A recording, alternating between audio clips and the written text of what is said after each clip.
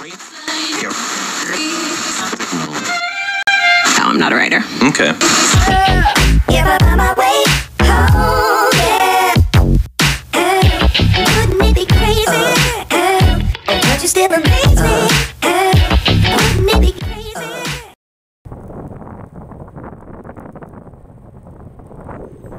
Chào cả nhà thân yêu Chúng ta đang ở đây là dự án Marina BM Group ở đây thuộc địa phận Bãi Trường, xã Dương Tơ Và khu đô thị dịch vụ này với tổng diện tích là 155 hecta và được chia thành 6 phân khu. Mỗi phân khu sẽ được thiết kế những mẫu nhà khác nhau nha. Ờ, khu căn hộ thương mại 7 tầng này cũng nằm kề với con đường lễ hội tỷ đô rộng 68 mét. Vâng, các bạn có biết là đường lộ mà rộng 68 mét như thế nào chưa?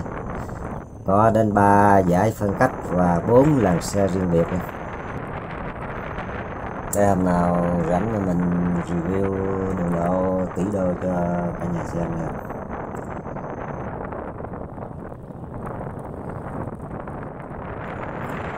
Ở phân khu nhà 7 tầng này thì được thiết kế theo phong cách là sân vượt Đông Tây hội ngộ. Ở đây thì có đến 199 tòa nhà giống y hệt nhau như thế này.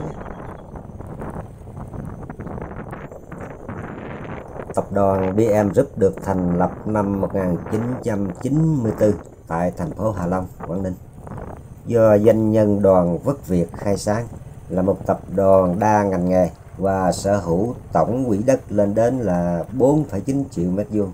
Quá khủng luôn nha cả nhà.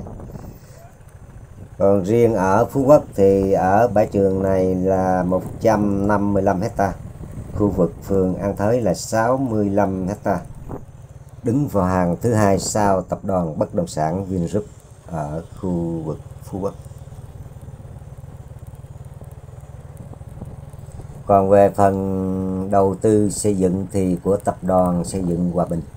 Tập đoàn đầu tư xây dựng Hòa Bình đã đấu thầu tổng thể dự án Marina này luôn ờ, cả nhà.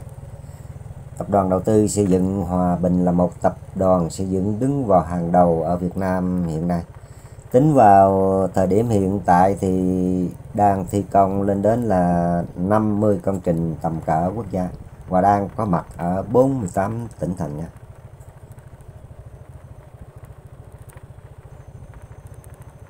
Để mình đi vòng qua bên này và vào bên trong lưu vài phút hình ảnh cho cả nhà xem nha.